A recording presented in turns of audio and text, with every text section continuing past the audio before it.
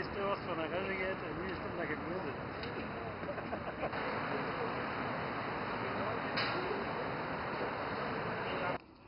I would like to thank uh, Friends of the Earth and uh, Thom for uh, their great contribution in raising awareness in uh, the European Union and mobilizing people in order to achieve the reduction uh, of emissions that is necessary in order to effectively fight climate change.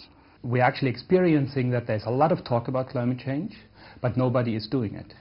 So we want to have clear commitments. We want to be able to check it every year.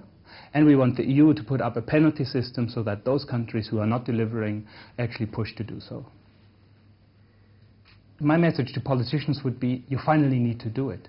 It's more serious. You know, I'm working since 15 years on climate change issues, and I'm still shocked what science is telling us. Science is telling us more warnings than I was doing three years ago. It is a very, very serious and very burning issue. And they need to stop being timid. If climate change is done right, we can do it. We have the technologies. We can be much more efficient in the way we use energy, but we need legislation in place. The example of the Big Ask campaign in England, Wales and Northern Ireland, where we now have actually a piece of legislation in the parliament that would oblige the country to do every year 3% CO2 emission cuts, shows very clearly that an individual can do a lot. It was 100,000 people, real people, calling up their parliamentarians, writing letters, being out on the street that made that possible. And we want to repeat that on the European level, now in the 17 countries that are joining Friends of Earth Europe's Big Ask campaign. Uh, the bigask.eu the big ask you, um, you go on a, a, website and that will give you clear um, help as, as to where you should go first. But um, uh, I would say personally, be surprised how a, a, few letters to your MPs and stuff, how powerful it is. Because um, the other thing you have to remember is a lot of MPs throughout Europe, just like the UK, would love to do something about this, but they are constantly harangued and harassed by uh, lobbyists from industry um, who don't want it to happen, want it watered down, want to carry on the way it is. And the truth is, we can't carry on the way it is, and it's only you and me that are able to tell politicians that it can't carry on the way it is.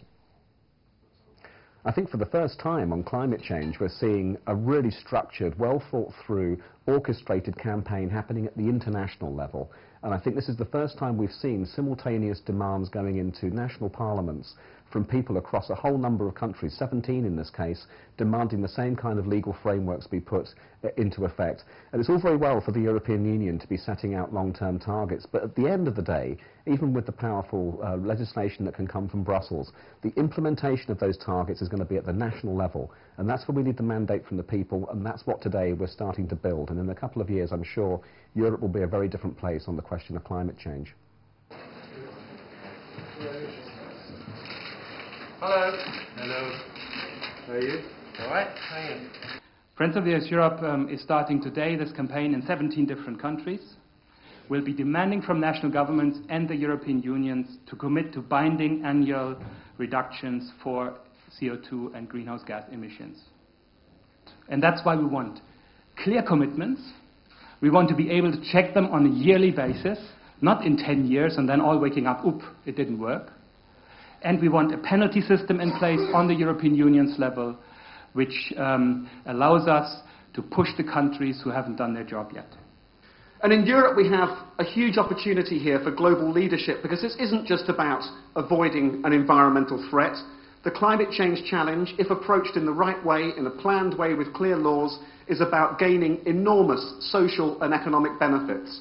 Benefits in the form of warmer homes, greater mobility, lower fuel bills, cleaner air, nicer food, stronger communities, millions of new jobs, and a huge new economic opportunity. All of that can come from a planned, clear, long-term response, and that's what the Big Ask campaign is all about, is about putting in place the mandate for Europe to take this huge opportunity for global leadership and avoiding the worst consequences of global warming.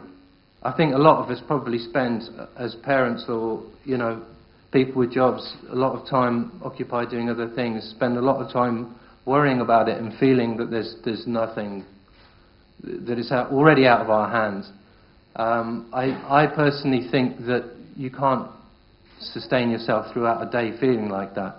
You can't look your child in the eye and think, there's nothing I can do. I'm sorry, kids.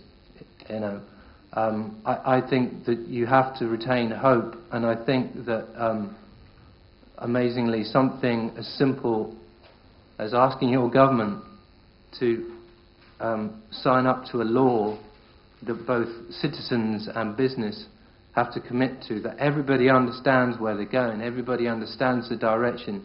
A relatively simple thing, you'd thought, would actually make a huge difference. In the UK, you compared the challenge of climate change.